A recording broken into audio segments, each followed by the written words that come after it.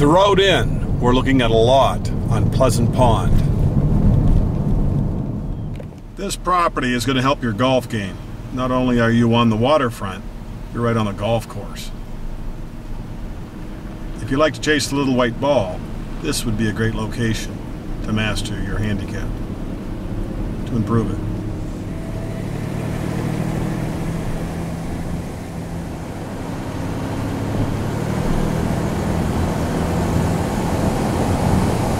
Beautiful area, all of southern Aroostook or northern Maine. We're looking for 67 Sand Trap Road.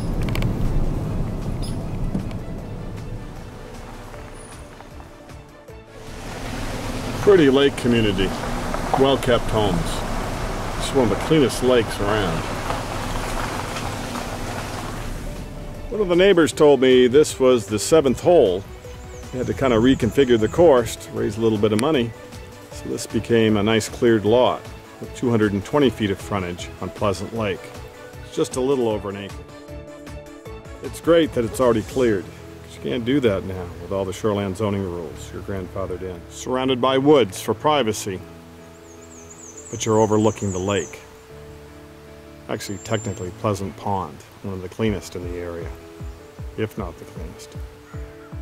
Here's looking back behind you, your access road, Sand Trap Road.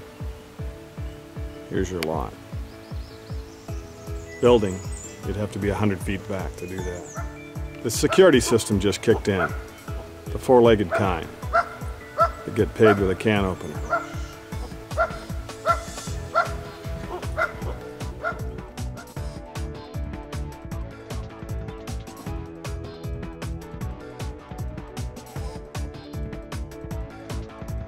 You dream about being on the waterfront?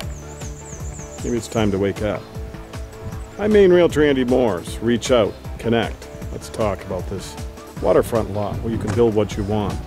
We'll put a travel trailer for now until you figure it all out. This inlet is a great area to be able to bring your boat in, to have it sheltered, to beach it until you want to go back out fishing or kayak. Like to build one of these on this side? You can get a hold of Dave Gordon at Katahdin Forest Products, right in Oakfield, just a couple towns away. Some fill's been put in to get you started. This is an easy lot to build on. Play golf.